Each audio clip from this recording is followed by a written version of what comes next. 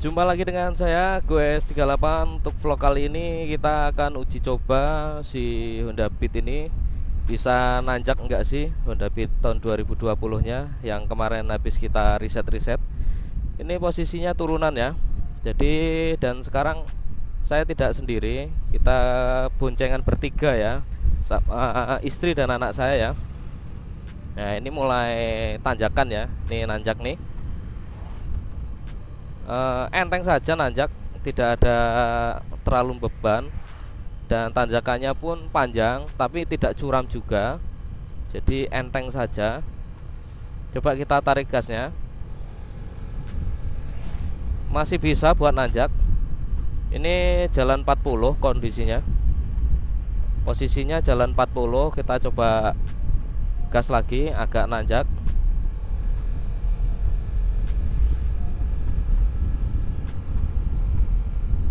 ya mau nanjak sih. Sama Honda Beat karbu saya masih enakan ini masih bertenaga. Kalau Honda Beat saya kalau pelan buat nanjak eh, malah motornya seakan-akan eh, gerengnya sangat kuat banget. Dan kita akan melewati turunan lagi ya agak turun ini ya. Agak turun banget. Nanti kita putar balik untuk e, merasakan tanjakannya ya. Ini turunannya curam banget ini lumayan nih. Eh, teman-teman bisa rasakan nih turunannya curam. Nah, sedikit curam. Nanti kita putar balik apakah motor saya kuat nanjak ya. Nih curam banget di depan kita turunan ya. Ini tidak saya gas. Nih tidak saya gas. Nih turunannya curam banget. Seperti ini.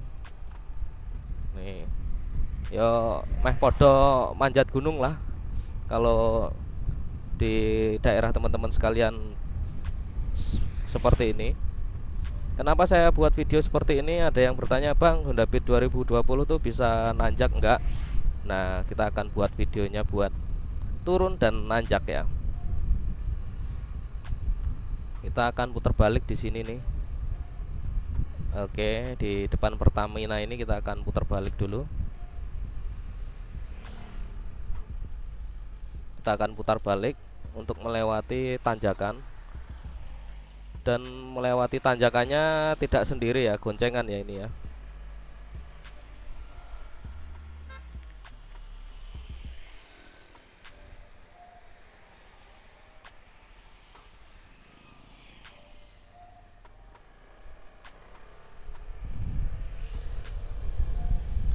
Tanpa ancang-ancang langsung dibawa buat nanjak ya coba tak gas agak kuat. Ini posisi jalan 50 ya. Kita akan ulangi tanjakan di depan. Uh, yang kita barusan lewatin tadi ini kita akan lewatin teronjongan sebentar lalu nanjak. Seperti apa? Apakah tetap ngeden ataukah tidak? Oke kita ulangi. Ini neronjong ya ini teronjongan panjang tapi tidak terlalu curam. Kita akan lewati. Ini perjalanan sekitar 40 km per jam. Kita bergoncengan bertiga dengan anak istri saya ya. Oke. Nah ini mulai turun dan sebentar lagi kita akan menanjak ya. Jadi akan saya dan masih worth it. Coba kita gas masih mau jalan. Dan seperti itu ya test ride untuk nanjaknya Honda Beatnya ternyata mau nanjak dan lumayan masih kuat responsif. E, menurut kalian gimana nilai sendiri ya? Mungkin cukup sekian vlog kali ini.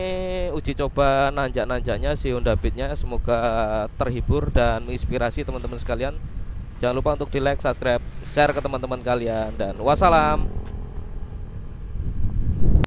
filenya benar-benar korup jadi videonya hilang saat ditanjakan curamnya ya. Jadi filenya hilang. Kemudian saat tanjakan yang kedua waktu putar balik itu pun filenya hilang juga saat mau nanjak juga. Jadi buat teman-teman buat pelajaran kita semua jika berkendara silahkan baca doa uh, sesuai kepercayaannya masing-masing agar tidak dijaili atau diganggu hal-hal yang tidak kelihatan. Terima kasih telah menonton video saya. Gue S38. Wassalam.